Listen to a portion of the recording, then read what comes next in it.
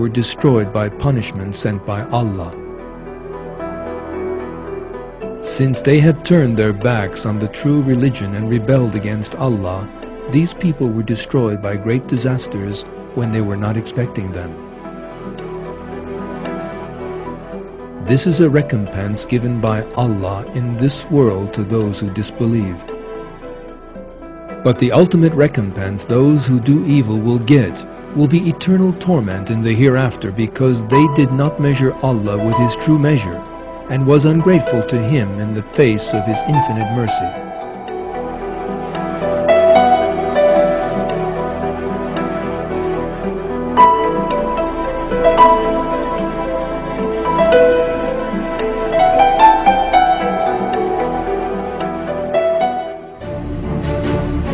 Al-Qudus, the Holy.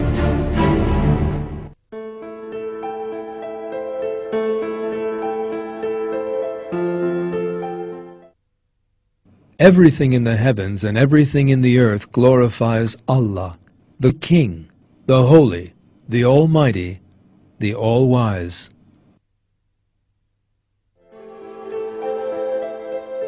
Allah is the sole creator of everything on the earth, in the sky, in the depths of space and under the ground. The order, law, and harmony that we can see just by looking around us all belong to Him. The worlds that we cannot see or perceive have also yielded to Allah. As revealed in the Quran, Allah keeps a firm hold on the heavens and earth, preventing them from vanishing away. And if they vanished, no one could then keep hold of them. Certainly, He is most forbearing, ever forgiving. It is our Lord who creates and maintains all things. Man, the servant of Allah, is totally helpless. He makes mistakes, forgets, is deceived and distracted. People are both physically and spiritually weak.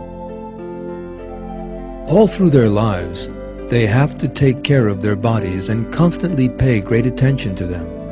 If they make their bodies work a little too hard, go without sleep for a few days, or go one day without water, they become very weak. All these things are created for man to think about and learn from. Allah, the creator of all, and the possessor of the most beautiful names, is exalted over all these imperfections.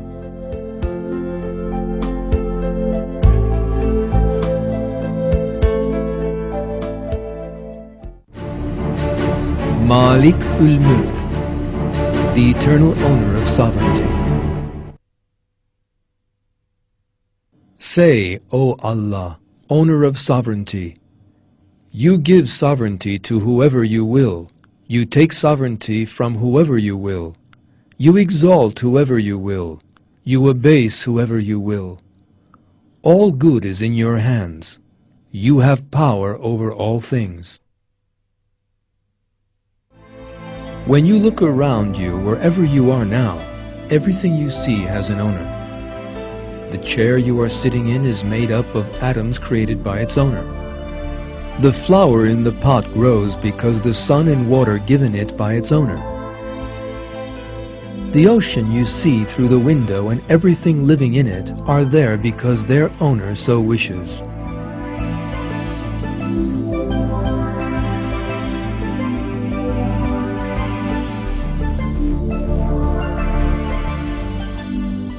The owner of all these things and the entire universe is the Almighty Allah.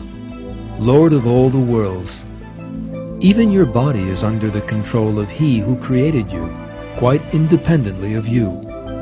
Your limbs, veins, nervous system, and cells are all the product of your owner's superior knowledge and artistry. None of these things came about because you decided to design and create them. When you first opened your eyes on the world, you encountered both the flawless system in your own body as well as the world you live in, and even the whole universe. Yet you owned none of these things before.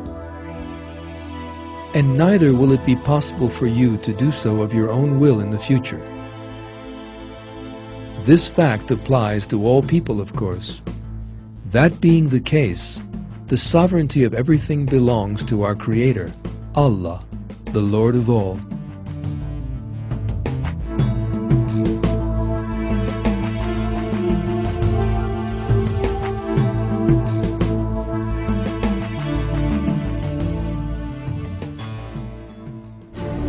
Ar-Rahman, Ar-Rahim, the All-Merciful and the Most Merciful.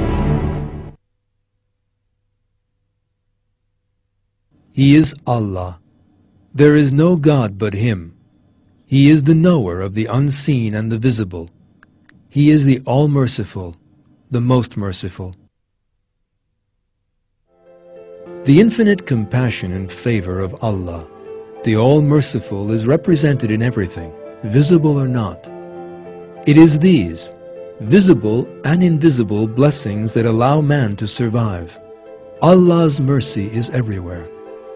For instance, it is Allah who every day causes billions of seeds to sprout up from under the ground, who covers the whole planet with its internal temperature of 4,500 degrees with fertile soil, who causes tons of life-giving water to fall from the sky, who at the same time provides food for all the billions of living things all over the world, who creates the oxygen that fills our lungs every minute, and surrounds the countless things he has created with life-giving blessings.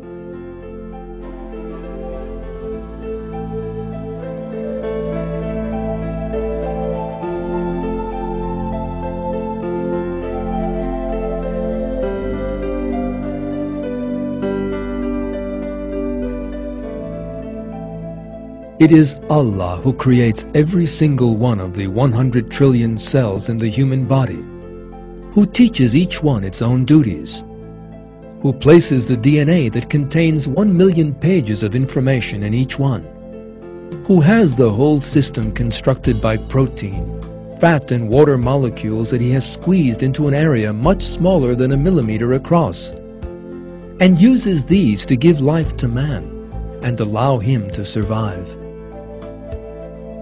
From the moment they are born until they return to the soil, people know and recognize only the blessings bestowed upon them by Allah and live thanks to them. In the same way that some people see these blessings, understand the purpose behind their creation and serve Allah, there are others who are ungrateful and turn their backs on Him.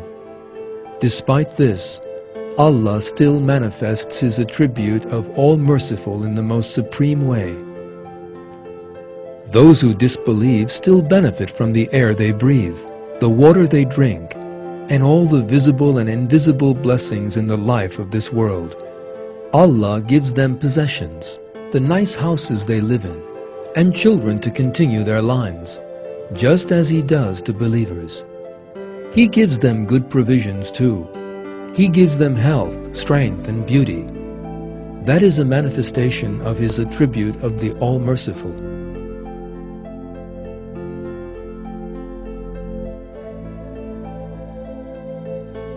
Allah allows unbelievers to benefit from such things in the hope that maybe they will turn to religion, come to their reason, and give thanks.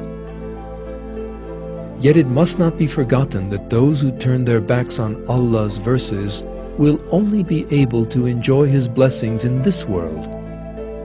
In the hereafter, all blessings will only belong to the faithful who use the favors given them by Allah in order to draw closer to Him. Seek His good pleasure and give thanks. This is a manifestation of Allah's attribute of the Most Merciful.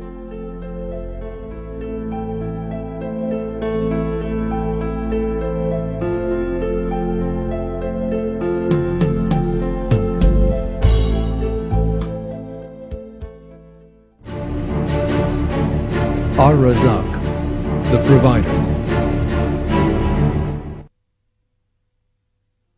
Truly Allah, He is the provider, the possessor of strength, the sure.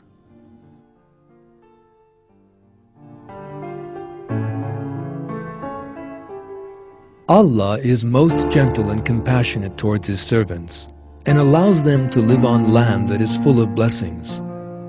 To such an extent that soil produces shoots and greenery even when man does not work it. Out of that soil come yellow, green, red, and orange fruits and vegetables.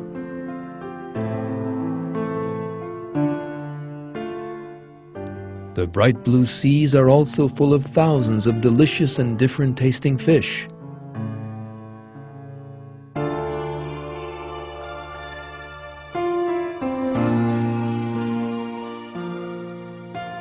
It is Allah, the provider, who gives us these things. Allah gives all these blessings to man in the life of this world